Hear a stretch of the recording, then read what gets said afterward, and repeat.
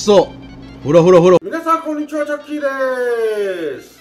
はい、今回はですね、コスパもよく、ボリューム満点で、もう食べ応えもバッチリの鶏胸肉を使って作る、しっとりチキンステーキの作り方を紹介させていただきます。そして何より今回の味付けに使うソースがめちゃくちゃ美味しいんで、ほんと一回作ってみてください。家にあるね、簡単に揃う調味料ばっかりでできる絶品のソースです。これがね、風味よくコクマロで食欲を刺激してくるんで、マジでおすすめ。そして、パサつきやすい鶏胸肉もコツを抑えて焼き上げることで、本当にしっとりジューシーに仕上がりますんで、ぜひ動画で確認して作ってみてください。きっとみんな大満足できると思います。それでは一緒に作りましょう。ャンネル登録お願いします。それでは材料から紹介させていただきます。鶏胸肉1枚、だいたい 300g ぐらいのものを使います。玉ねぎ、まあ中ぐらいのもの、半分です。マヨネーズ、こちらもね、お好みですけど、大さじ3杯から4杯ぐらい。まあ適当で大丈夫です。はい、こちら。今回のね、味付けや風味付けに使う調味料。結構たくさんあるように見えますが、家にね、常備してそうな簡単に手に入れられるものばかりなんでね、ぜひ用意してください。はい、こちらチューブタイプのもので構いませんので、おろしニンニクとおろし生姜、小さじ1杯ずつです。カレー粉小さじ1分の1。粉チーズ大さじ1杯。はい、そしてね、塩コショウ。こちらもお好みで少々使います。材料は以上です。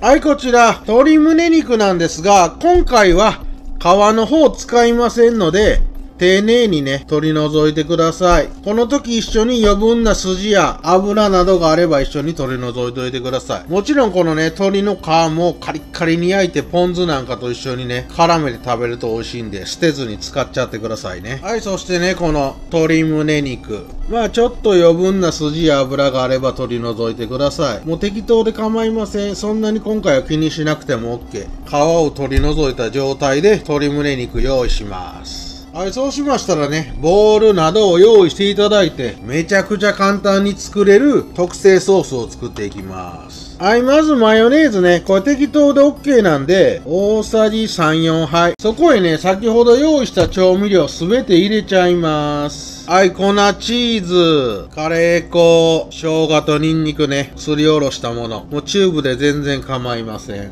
そして塩コショウですね。これもお好みで OK。はい、もう軽くで OK です。はい、胡椒もいっちゃいましょう。あとはこちら、しっかり混ぜ合わせて、馴染ませてください。これが今回のね、めちゃくちゃ美味しい簡単マヨソース。マジめちゃくちゃうまいんでね、ほんま一回作ってほしいですわ。はい、こんな感じね、馴染んだら OK。そこへ、先ほど皮を取り除いた、はい、こちら鶏胸肉をドカッと入れていただいて、表面にね、絡める感じ。はい、こんなもんですね。もう適当で構いません。しっかりと表面にこのマヨソースを絡めちゃってください。はい、この状態でね、まあ5分から10分置いて、少し味をなじましておきます。はい、鶏肉に味をなじましている間に、玉ねぎちゃんをスライスしていきます。はい、ちょっとヘタの部分だけ切り落としていただいて、そうですね、気持ち厚め、2、3ミリって感じですね。もうポンポンとスライスしていただいて構いません。あんまり薄くしすぎると、ちょ食感がね、ぐにゃぐにゃになっちゃうので、今回は気持ち厚め、2、3ミリぐらいで、はい、もうこんなもん。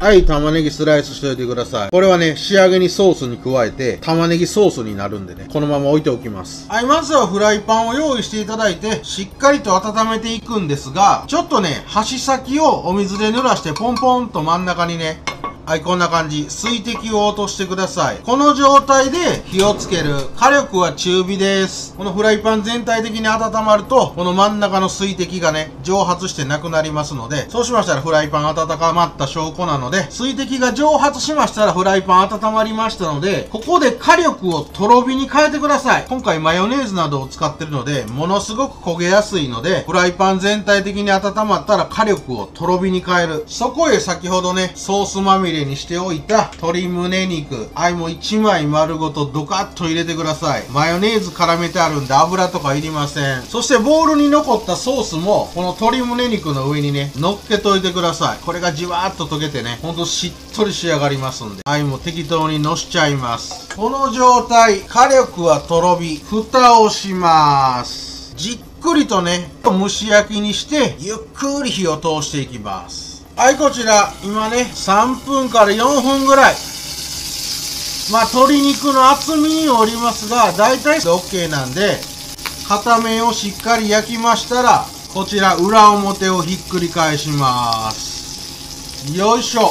あー、見てめちゃくちゃ香ばしそうで、いい感じに焼き色ついてます。ほんと焦げやすいんでね、火力はとろ火でいってください。そして再び蓋をします。はい、さらに3分から4分ですね。じっくりと中まで火を通していきます。ほんととろ火でゆっくり蒸し焼きにすることで、鶏胸肉もね、しっとり仕上がります。このままじっくり3、4分いっちゃってください。裏返してからね、再び3、4分。じっくり蒸し焼きにしたら、ここで一旦火を止めてください。そして、この周りに出てるソースはちょっと残していただいて、鶏胸肉だけね、一旦まな板の方に取り出しておきます。よいしょはい、この状態でね、2、3分置いといてください。この間にソースを作っていきます。これで余熱で中までしっかり火が入りますんで、この状態にしてまな板の上に開けてしばらく置いておきます。こちらね、お鍋に残ったソースのところへ玉ねぎ入れてください。そして再びここで火をつけます。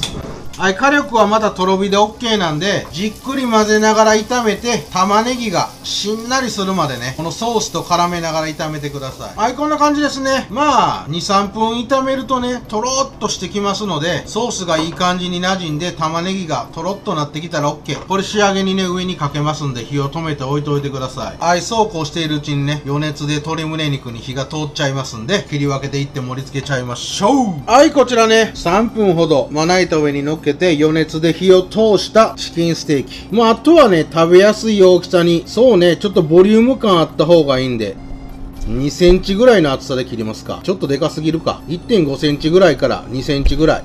まあお好みで構いません。これね、まだまだ熱々の状態なんでね、切るとき気をつけてください。ああ、もうめちゃくちゃ美味しそうやわ。今回はね、もう丸ごと1枚でいったんで、じっくり火を通しましたがね、あの、不安な方は、半分にね、こう、切り裂いてから作っていただいても構いません。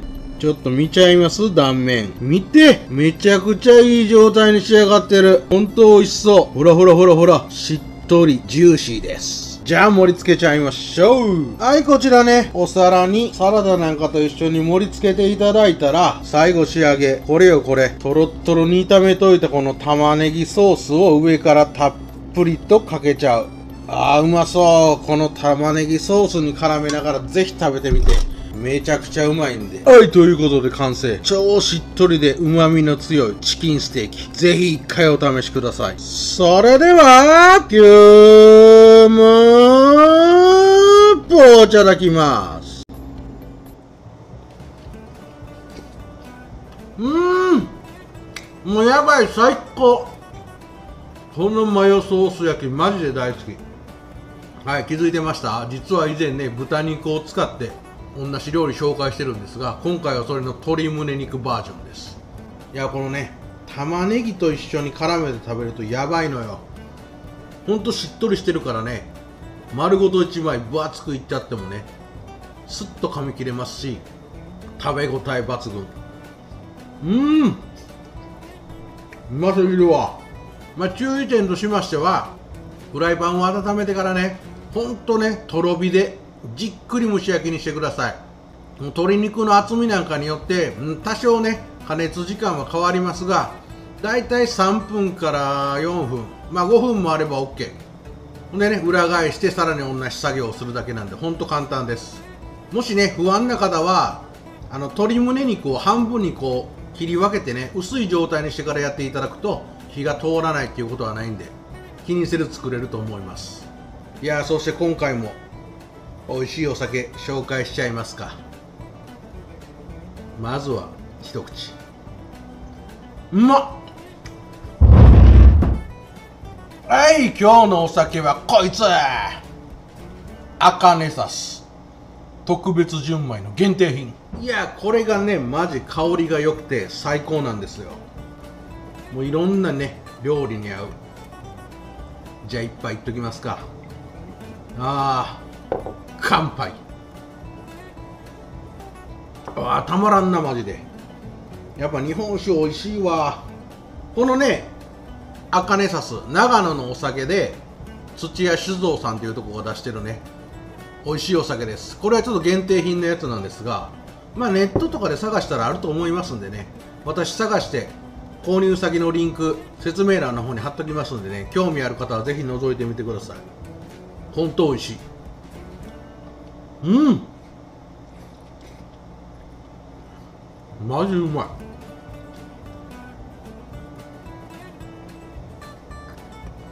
ああ最高やな。